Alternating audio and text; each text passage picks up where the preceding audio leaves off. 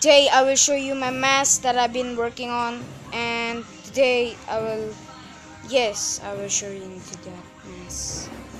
This one is just like the movie.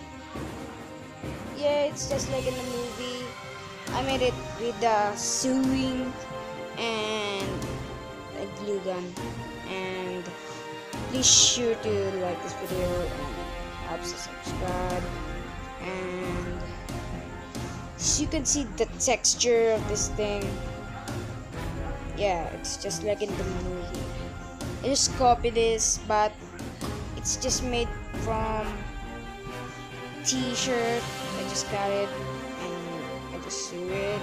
It's just like a mask and turn some holes and yeah this is the before and after. This is the after one and now we're going to spray it.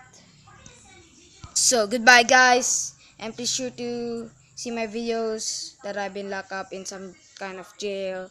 So see my videos in Saturday. Okay guys. Thank you guys. Peace